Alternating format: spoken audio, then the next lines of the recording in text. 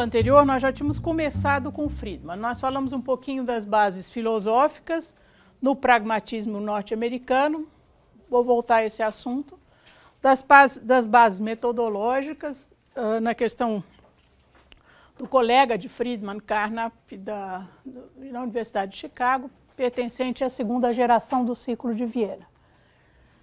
E falamos um pouquinho também da biografia do Friedman, e do ambiente institucional em que ele viveu. Como vocês podem ter percebido no slide anterior, ele foi um cara bastante longevo, ele morreu com mais de 90 anos e teve um papel muito importante na economia. Uh, depois desse livro, esse artigo que foi publicado na forma de livro, ele teve ainda uma produção muito grande e Uh, uma parte dessa produção são uns, uns vídeos que vocês já uh, ouviram, alguns eu já vi que fizeram menção. É um conjunto de, na época eram videotapes, que era, chama Free to Choose, liberdade de escolha. Não sei se, não me lembro mais se está em português, não. A nossa biblioteca tem. Esses vídeos foram produzidos no seguinte, foi um projeto grande e a ideia era assim, era anos 60, mundo dividido em dois blocos, capitalismo e comunismo. O mundo capitalista precisava de, dar um jeito de uh, resistir a, a, ao mundo comunista aí que ameaçava tomar as cabeças, uh, enfim, ameaçava uh, dominar o mundo. Né? Então, nesse, nessa geopolítica, o, o mundo capitalista, enfim, sentiu na necessidade de fazer um conjunto de ações de propaganda capitalista. E esse, esses vídeos do Friedman são justamente essas, fazem parte dessas ações. Se vocês tiverem a curiosidade de ver, vocês podem ver no videocassete, se tiverem videocassete, é, se tiverem jeito de fazer isso, videotape ou lá o quê, mas podem ver na internet também. Vocês entram na internet, Free to Choose, Milton Friedman, e vocês conseguem. E aí vocês vão ver que o Friedman é um indivíduo muito simpático, né? tem uma boa capacidade de comunicação, fala simples, apesar de todo o prestígio que ele tinha. E o que ele faz é fazer propaganda do mundo capitalista e fazer uh, uh, descer a lenha no mundo uh, comunista. Então ele fala da China, ele faz uma comparação, por exemplo, num dos vídeos entre a China maoísta lá, a China, e a, a, a China, ah, como é que chama? Hong Kong, ele faz de Hong Kong, aliás, faz todos, exalta Hong Kong e tal, como sendo uma, uma maneira diferente de ser, onde há liberdade, apesar da pobreza.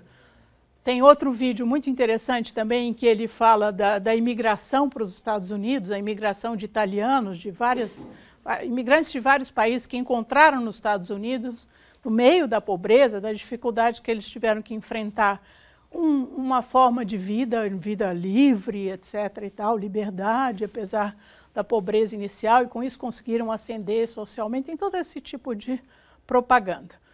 E depois de cada vídeo tem um debate, que é interessante também, porque aí reúne pessoas que vocês às vezes leem em outros cursos, né? então de desenvolvimento, o Baguate, não sei se vocês leem por alguma coisa, pessoas que vocês conhecem uh, de leitura, e aí vem falando e se manifestando e tudo. Além de representantes dos sindicatos de trabalhadores, representantes da sociedade civil, do governo e tal, eles juntam um grupinho lá e debatem aquilo que está sendo colocado no vídeo. Tá? O vídeo é, é puro proselitismo, assim. Né? Tem horas que é, eu acho absolutamente ridículo, mas enfim, a gente entendendo o que é isso, a gente... Por sinal que o, depois da aula, uh, na, na última quarta-feira, depois do seminário, eu fui procurada uh, por um aluno que estava muito angustiado. Onde é que eu posso encontrar críticas ao texto do Friedman? Eu estava meio ocupada na hora e tal. Não, mas me dá uma bibliografia. Eu falei, tá bom, entra no Google, mais fácil. Entra no Google, você vai encontrar milhares de textos críticos. Então, vamos dizer aqui sim, eu vou continuar hoje uh, uh, dissecando, né, fazendo uma leitura bem, in, tanto quanto possível em profundidade do texto. né? tentando não fazer críticas. No final, eu vou fazer algumas críticas. Tá? Esse texto foi muito criticado, portanto, tem muito, os mais variados tipos de crítica, de forma, de conteúdo, de falta de sofisticação filosófica, etc. O, o, rumo aí da metodologia da economia foi o seguinte: num determinado momento o pessoal parou e falou assim, nos anos, no início dos anos 90, ó, oh, vamos parar de escrever vamos, vamos, não vamos escrever o artigo N-1, sendo que N é muito, N mais 1, sobre criticando o texto do Friedman. E vamos tentar entender como é que esse texto foi tão persuasivo. Que tipo de qualidades ele tem que o tornam persuasivo. De uma maneira geral, quando a gente faz pesquisa na área, seja de metodologia, seja de HPE, a gente uh, tem que fazer um esforço para não ficar julgando a toda hora. Né? Ao contrário, entender por que, que um cara naquela condição escreve aquilo. Qual é o meio em que ele vive, por que, que ele escreve aquilo. Concordemos ou não, achemos ou não que essa, essa mensagem que ele está dando é apropriada ou atual.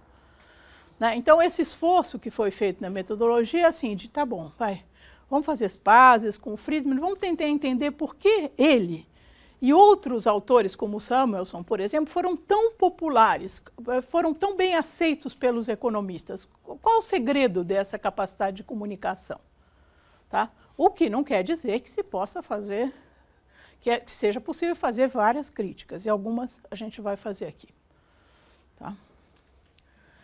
Bom, Uh, continuando aqui, a gente falou do ambiente de debates. Naquela época, nos anos 1940, havia vários debates assim no cenário da economia. Era um momento em que a economia keynesiana estava começando a ascender, né?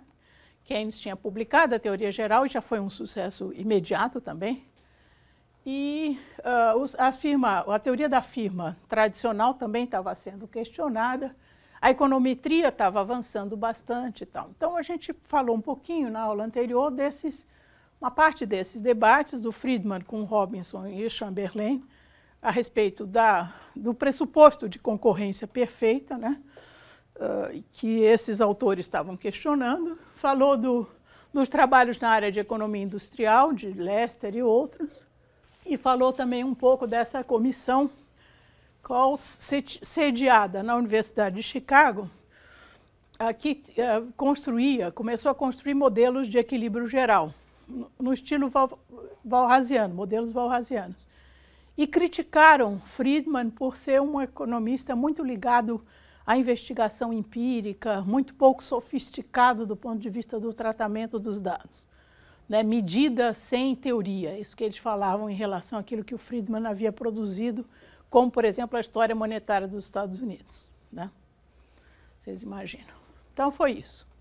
Tá? Então, vamos seguir aqui. Bom, que, que recado ele dá no texto? Uh, ele diz que os críticos da teoria tradicional, da teoria econômica tradicional, eles confundem duas coisas que são muito diferentes.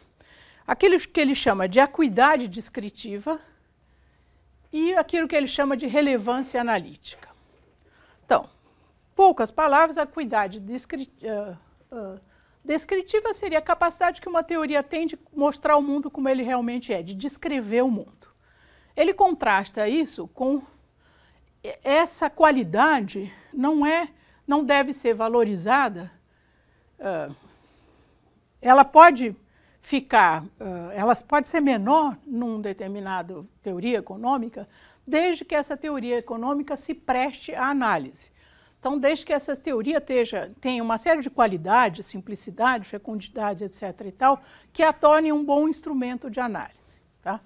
Então, o verdadeiro teste de uma teoria, de uma hipótese, como ele diz, né, todo momento eu disse para vocês substituírem hipótese por teoria, são os seus frutos. Quer dizer, a teoria se conhece pela sua capacidade de gerar frutos.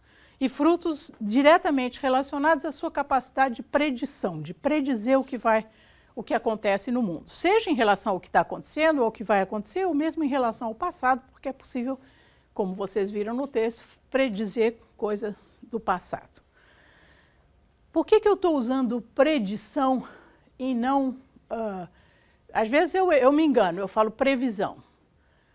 Olha, não sei bem, teve, já teve uma discussão aqui no Brasil a respeito de se a, a, a melhor tradução seria predizer ou prever. Uma parte concluiu, bom, mas a gente está fazendo cavalo de batalha a respeito de nada, né? Não estamos discutindo o sexo de anjos, porque afinal de contas são só dois tipos de uh, sentidos: predizer, falar e prever, prever antes. Na verdade, são, podem ser tomados como sinônimos. Mas, vamos dizer, o mais. Mais em inglês, eles raramente usam preview, né, nesse sentido aqui desses textos. Então, o que ele fala toda hora é predict, é mais predict do que prever, então vamos tentar usar, ficar fiel à, à nomenclatura que ele usa, ele Friedman. Bom, esse recado, portanto, diz assim que é impossível que a, a uma teoria seja realista, né, do ponto de vista do, de, uh, no sentido de descrever o mundo como ele é. Uh, isso é impossível, portanto, o propósito da economia deve ser predizer e não descrever. Então, portanto, aqui é um ponto importante, isso é extraído do texto primado da praxis econômica. Né? Como é que eh, porque, para Friedman, né, a ciência da economia é uma ciência eminentemente aplicada. Ele está preocupado em uh, uh, desenvolver essa teoria de tal forma que ela possa orientar a política econômica. Né? E, nesse sentido, portanto, uh, a, a, o que importa, como alguns disseram nas suas respostas, é a eficácia do ponto de vista da predição. Essa teoria gera conclusões ou implicações, como ele fala também, razoáveis, né, verossímeis, se não de fato verdadeiras, né? Uh, se não necessariamente verdadeiras, pelo menos parece razoável, né? A gente, quando a gente escuta essas, os economistas ouvem essas predições, eles dizem é realmente é uma teoria, é uma boa teoria, né? Então, esse é o grande trunfo de uma teoria, a sua capacidade de gerar esses frutos aí, esses tais frutos, e, nesse sentido, iluminar o caminho daqueles que se dedicam à aplicação desses conhecimentos no mundo econômico. Bom, e dado esse recado inicial, Friedman começa no texto a discutir como a gente deve decidir se uma hipótese, aqui é uma teoria, deve ser aceita, ainda que provisoriamente, como parte do corpo de conhecimentos da economia positiva. Vamos quebrar essa frase. Primeiro eu pergunto para vocês, quando ele fala assim, se uma teoria deve ser aceita, ainda que provisoriamente, por que, que ele está pondo aí entre vírgulas esse aposto que chama isso, ou qualquer coisa, essa qualificação? Por que ainda que provisoriamente? Hein, Camila? É porque ela não é definitiva, sempre pode vir uma outra que seja melhor. Isso. E quando ele fala em aceitação, também é um ponto importante. Se uma teoria deve ser aceita, vocês falaram sobre isso, eu vi, nos, dei uma ouvida aí no, no que vocês discutiam nos grupos, a questão de ter um elemento de convencionalismo. Então, os economistas aceitam uma determinada teoria. Né? Então, eles conversam e chegam à conclusão que aquela teoria é razoável, é boa e tal. Né? Então, ele não está dizendo que uma teoria é verdadeira, ele não está dizendo isso, mas se ela deve ser aceita, bom. E aí, como parte do corpo de conhecimentos da economia positiva, que trata do que é, sobre isso eles falam, vocês uh, acho que não tiveram nenhuma dúvida na hora de escrever, foram, foram bem, assim, na hora de falar, aqui na frente também. Né? Então, será que essa teoria pode ser incluída no corpo de conhecimentos, quer dizer, no patrimônio, naquilo que já, tá, já é sólido dentro da economia positiva? Bom, aí ele começa dizendo, logo no início, que ele começa citando Keynes, pai, né? o pai do John Maynard, o John Neville Keynes, dizendo que ele diferencia três domínios, vamos dizer assim a economia positiva, a economia normativa e a arte da economia. É engraçado se vocês repararem, ele fala dos três pés, assim, os três ramos, mas depois, imediatamente, ele esquece a arte, passa a trabalhar a economia normativa e arte como se fossem uma coisa só. para Neville Keynes, absolutamente não era uma coisa só. Né? Então, cita aí e faz essa referência. Bom, então a seção seguinte chama economia positiva versus economia normativa. Então, óbvio, o conselheiro Acácio concordaria, as conclusões da economia positiva são relevantes para problemas de ordem normativa. Né? Porque senão, para que fazer economia positiva? Só pro, pelo deleite intelectual? Não, né? E a tarefa da economia positiva é prover um sistema de generalizações, portanto, de leis, passível de ser utilizado para fazer provisões, previsões corretas acerca das consequências de uma alteração de circunstâncias. Tá? É uma frase do texto. Então, vamos mais uma vez segmentar essa frase. Começando por dizer o seguinte: o que está no texto em português é um texto bem traduzido, como eu disse, mas em vez de prover, está provar. Então, não é prover, é provide em inglês, fornecer, prover, etc. E, tal. E, e acho que na digitação eles acabaram se enganando, puseram provide. Então, são generalizações né, que permitem previsões corretas, né? então o, fo o foco aí são previsões, sobre as consequências de uma alteração de circunstâncias. Que que é, ele fala das várias circunstâncias que estão presentes num num determinado contexto econômico, né, de uma determinada situação econômica. Né? Então, tem várias circunstâncias, as mais variadas possíveis. Né? O que a, a teoria, a economia positiva faz, ele, ela generaliza, né? e para generalizar, ela abstrai. Então, ela elimina essas alterações de circunstâncias, ela coloca numa grande ceteris paribus, por exemplo, né? E, e, justamente na hora de fazer essas previsões, uh, o alcance e a precisão delas, a correção delas, depende do ajuste que elas tenham com a experiência. Né? Ou seja, aqui falando, o que é a experiência? A observação empírica, o mundo empírico. Né? Então, se elas forem ajustadas à experiência, elas podem funcionar aí de uma forma, uh, ter um bom alcance e conseguir ser precisas. Né?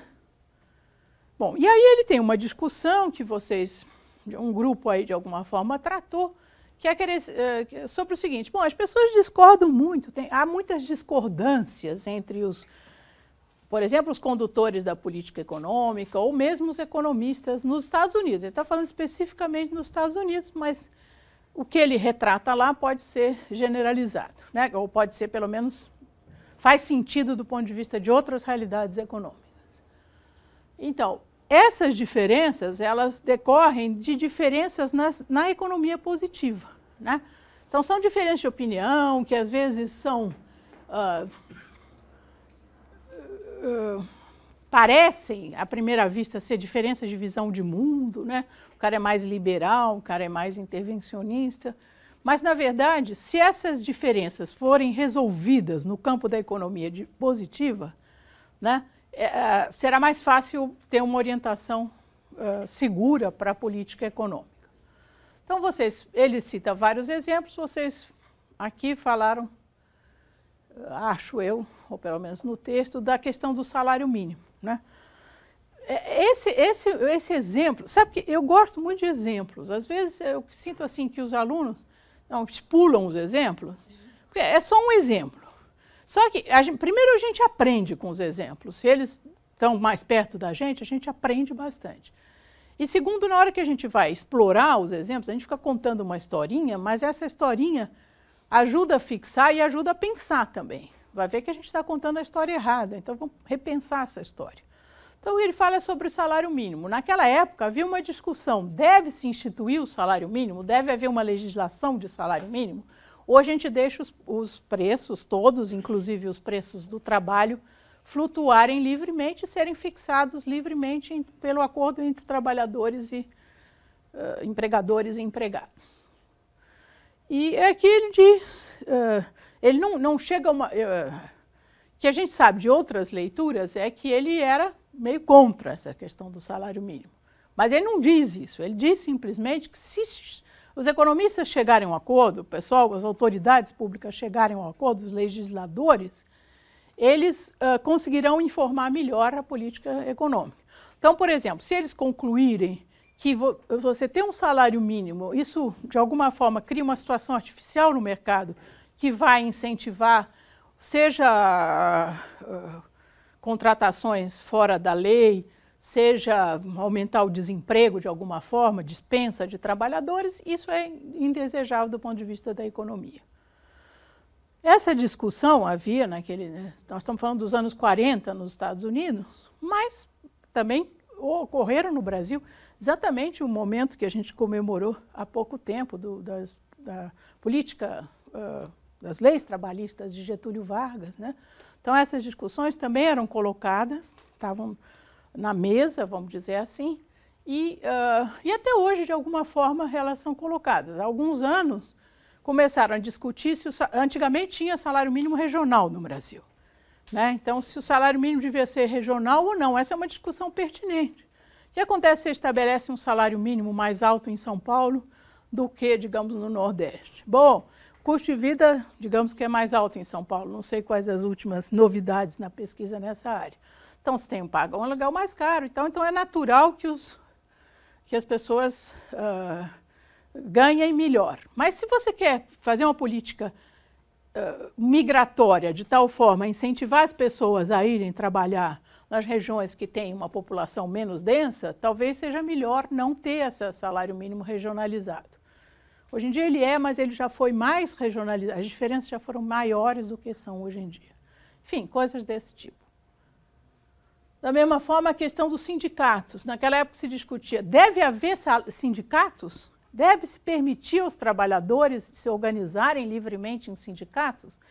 Vocês já devem ter visto o filme uh, do início do, do, sindicalismo nos Estados Unidos e daqueles uh, imigrantes, sobretudo, que eram líderes sindicais. Nem tinha sindicatos, eram associações de classe.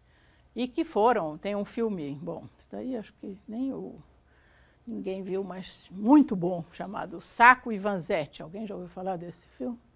Muito legal, de, de italianos que foram presos por, na época, isso nos anos 20, né, e eram articulavam os operários, eram líderes operários e foram presos e condenados à morte e mortos sem ter uh, nenhuma chance de defesa praticamente. O que eles faziam é que eles eram subversivos, foram considerados subversivos e esse filme é lindo, se vocês... Deve ter algum lugar aí disponível, muito bonito.